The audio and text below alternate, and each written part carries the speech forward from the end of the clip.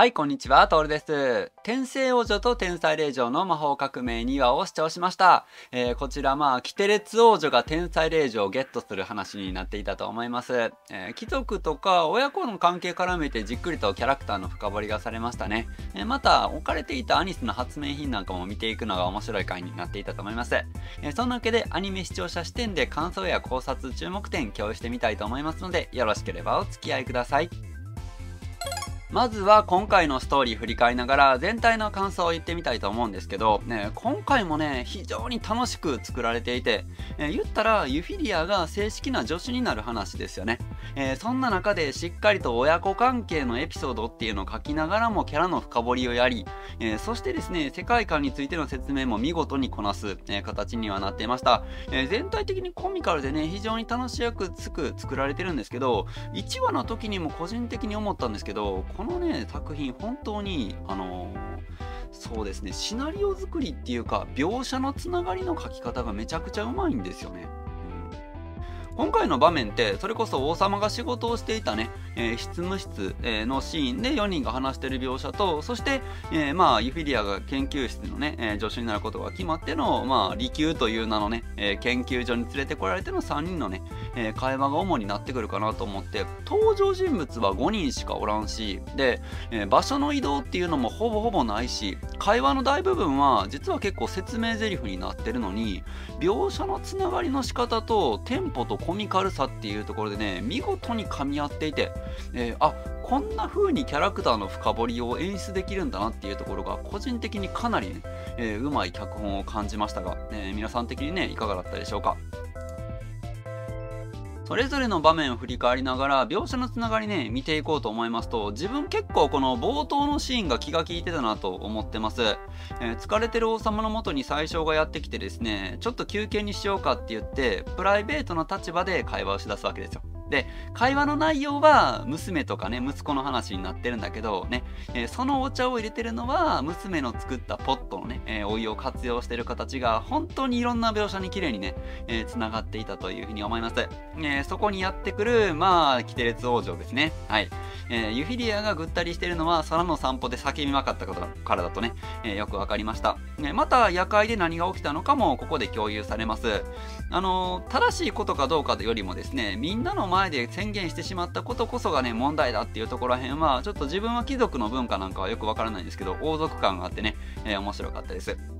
また、アニスがあの時のユフィリアの状態をかなり正確にね、把握、理解できていたこともね、よく分かりました。はい。えー、その上で共同研究を行うことによって、ユフィリアという、まあ、婚約破棄された令状のね、えー、名誉挽回という提案をしていました。で、ここでの決め手になったのが、またですね、王様とアニスのね、関係性っていうところを見て、えー、最小が自分と娘の関係性について反省してですね、で、えー、見つめ直した結果、えー、ユフィリアをですね、助手にする道っていうことをね、了承する道筋になったのは、これ結構綺麗なんですよ。で、えー、終わった後にですね、えー、最初が語るわけですね。アニスと、まあ言ったら、ゆくゆくもしかしたらアニス様が王様になるかもしれないと。えー、アニスが滑るものになった時にその横にユフィリアがいることはその価値があるんじゃないかという話をしていてですねこれなんか王族とか貴族の政略的なねその力関係におけるね、えー、価値というだけじゃなくてこれ冒頭のまあちょっとプライベートな会話だろうのくだりから考えるなら王様と最小みたいな関係役職を超えて友人として支えになっていた2人がね、えー、まあその示唆されてるんじゃないかなと思われました、はいえー、つまりね最初ユフィリアのお父さんっていうのはそのプライベートにおける支えになってくれるようなね友人関係っていうものがユフィリアに必要だと感じて、えー、アニスと一緒にねさせてくれたんじゃないかなというふうには、え、見えましたのでこれ本当に冒頭のシーンに綺麗につながっているね、え、形になったと思います。えまたですね、えー、研究所になってからのシーンもいいんですよ、これ。あの、研究所に連れて行かれてからのシーンっていうのは、アニスがとにかくですね、えー、まあ、褒めてって え言ってくれる形でですね、自分のやった功績を、まあ、述べつつもですね、えー、まあ、自分の苦労していたところもちょっとほのめかしててね、えアニスのちょっとしたね、深掘りになってますけど、これがね、またね、その、前半の王様のやりとりとかを見ていくと、彼女のその挫折だとか、苦労だとかがめちゃくちゃ見えてくるわけでね、えー、ここのつながりも良かったですね。うんまあ、話としては、はいえー、ユフィディが気になっていた描写をですね、なんで私のことを助けに来て、助けてくれたんですかに対してですね、はい、えー、まずは打算的なね、計算もちゃんとあると。えー、メリットがね、もちろんアニスにとってメリットがある。もう天才、魔法の天才令嬢、しかも武芸までできるって言ってるんで、多分普通に戦闘できるんじゃないですか、ユフィディアさん。えー、そういう意味ではね、えー、まあ特殊でね、貴重な人材。で、他の国に流れることも良しとはできない人材だからこそですね、えー、手元に置いておきたい、ね、研究もね、え進めたいっていうね、この打算はあると思うけど、助けたのはそこにないことははっきりしていて、で、え彼女が言ったのはあなたが完璧だったから、辛そうだったから助けずにはいられなかったんだよっていう、ユフィリアには完璧には理解できないんだけど、でも視聴者にはちょっとわかるんですよね。前回のね、もう覚えてないんじゃないかな的な、え発言とように同じようにですね、アニスがかつて見ていて憧れた、えー、そんなユフィリアの姿っていうところの、あの時の笑顔がなくなってるからこそ、なんとかしてあげずにはいられなかったという、えー、まあ、アニスの過去の描写の回収にはなってると思います。ただ、それだけじゃなくて、おそらく今回の前半の話を絡めて言うなら、えー、これ、アニス自身の挫折と多分自分にはできなかった道をたどった女の子に対するね、えー、思いっていうのを感じる部分ですね。つまりアニスっていうのはその王族の姫だからちゃんと貴族のもとに嫁がなダメなわけなんですよ。しかも魔法も使えへんになったらね、せめて制約の道具にね、えー、ならんとあかん形なんだけど、アニスはどっかにお嫁に行くなんてまっぴらごめんだと、うん、言っていて、で、もう魔法も使えないと。いう形になってるのでもう王族としての役目を私は放棄しますって言っててそれをまあお父さんに怒られていたわけですよ。で、えー、これ本当に何も考えずに自由に振る舞っていいと思ってるわけじゃなくて少なくとも言ったらこの時点においては王女のわがままだったわけですよ。思春期の反抗期にも近いですよね、うん、いつか大人になった時にもうどうやら観念して諦めてどっかのまあ言ったら貴族のね、えー、お嫁さんになることが決定づけられていたアニスだったんだけどアニスはそれで終わらなかったわけですよ。これは多分転生者要素が要素が入っていたからと思うんですけど彼女は自分の生きたい生き方をするための道を実現したんですよね。あの結果を出したわけですいわゆる。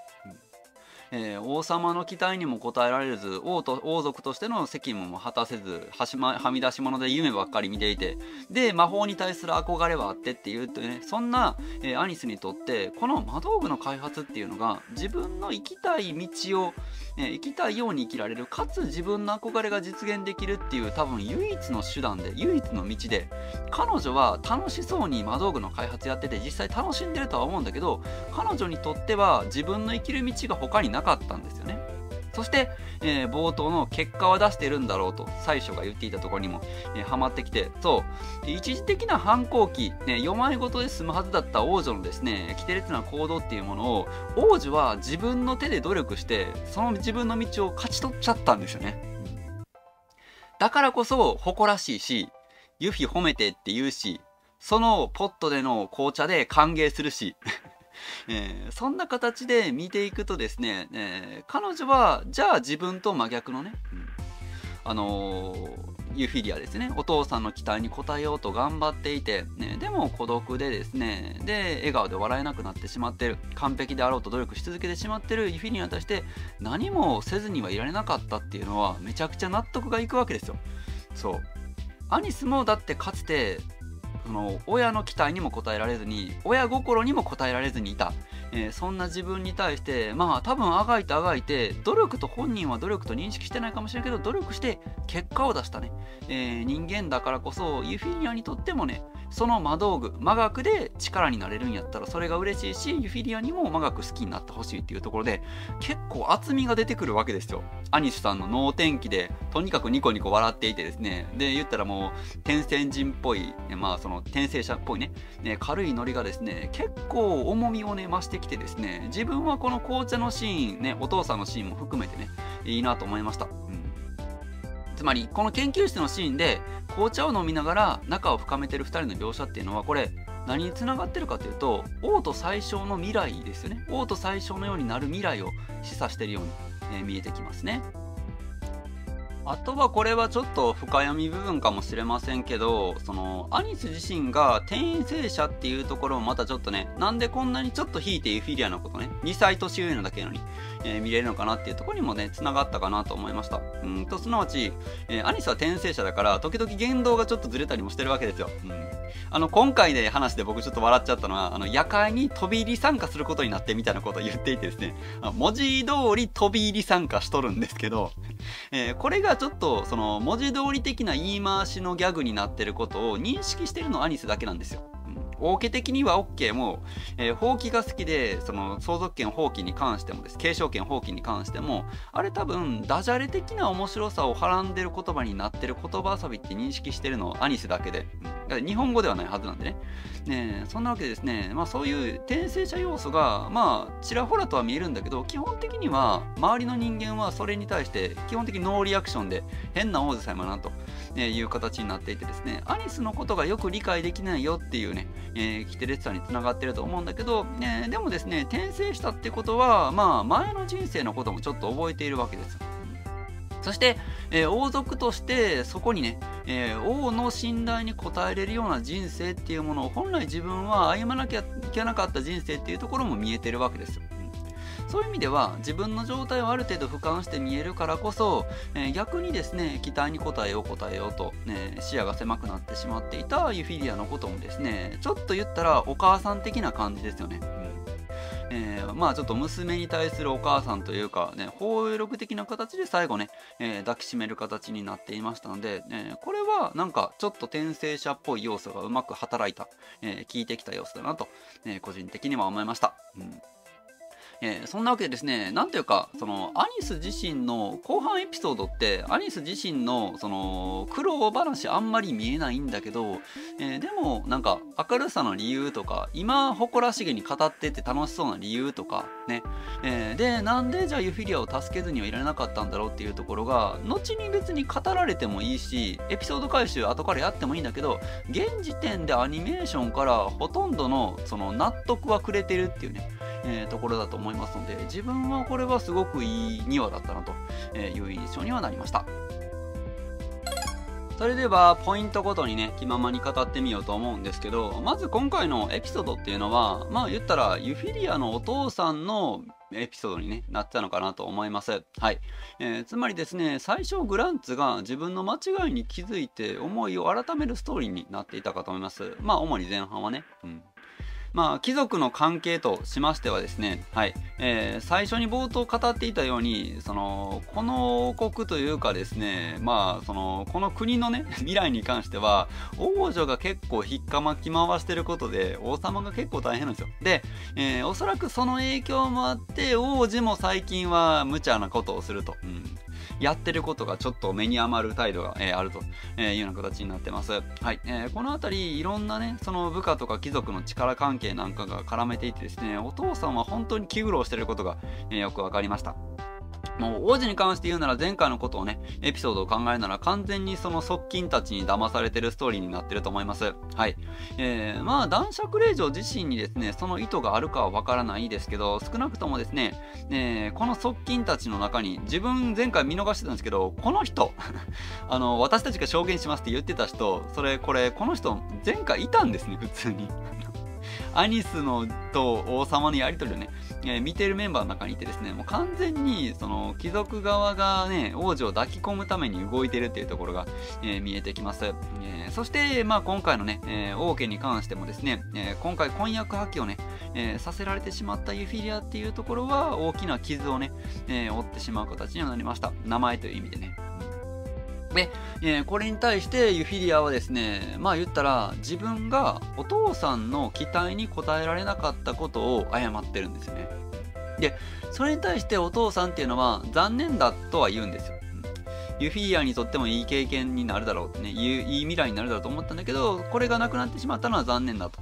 ね、だけど考えなければいけないのはこれからのことだっていうわけですね、これからの振る舞いを考えるべきだって言っててこれをユフィリアはどのような罰でもお受けしますって言うんですよ。で、ここではお父さんが自分が間違ってたことに気づくわけで、はい。お父さんは、これからユフィリアは令状としてまあ傷を負ってしまった。ね。えー、でもどうやって幸せになれるかの未来を考えようって提案してるつもりだったんだけどユフィリアはあ私はお父様の期待に応えることができなかったからこそどんな罰でも受けます申し訳ありませんっていう姿勢だったとこですれ違ってるんですね。でこのすれ違いを強く自覚したのがまあこのアニスと王様ね、えー、のやり取りですよ。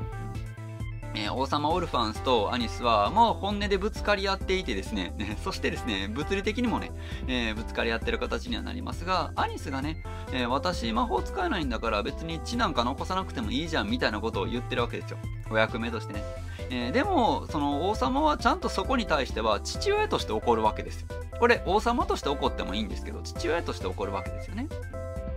あの自分の娘の子供が見た親心がわからんのかっていうね、えー、父親として怒っていてですね最初が気づくわけですね。私は父親としての意見は自分の娘に一回も言ってないと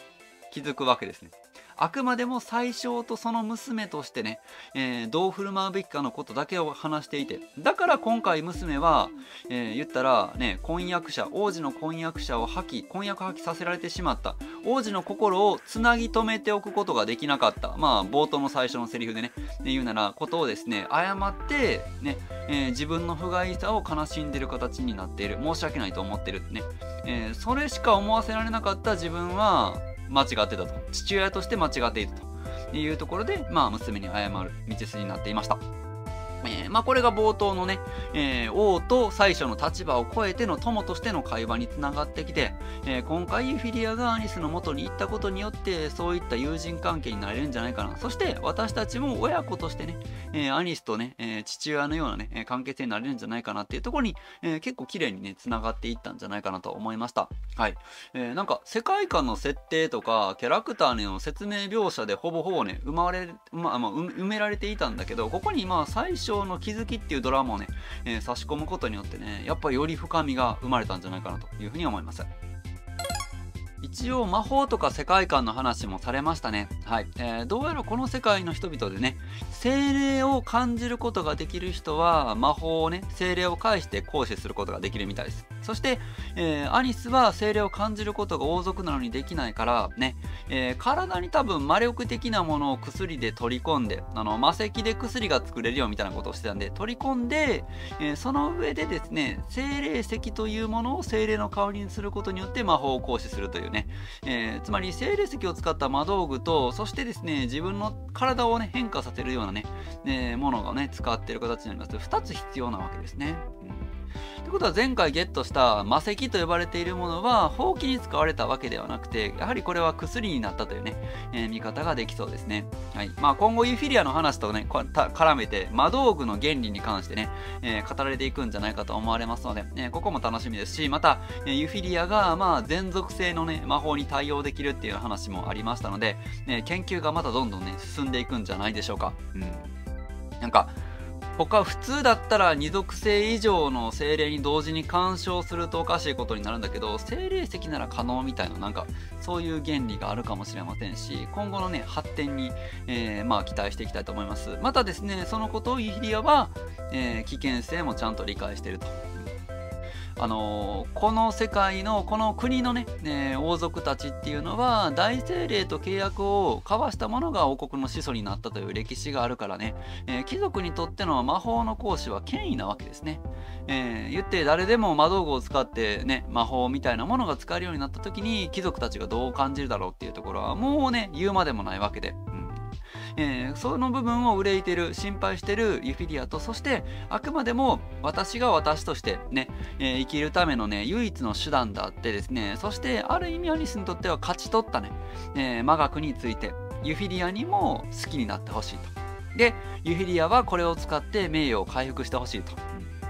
えー、この辺りですね。あくまでもアニスは表舞台に出ずにですね、自分の立場を確保する。ユフィリアは霊場としてのですね、えー、言ったらまあ、その婚約破棄されたね、えー、この汚名をどうやってね、ね消すことができるかっていうために力になれるよ。2人で頑張ろうって思ってるところの対比が、えなかなかに良かったんじゃないかなというふうに思います。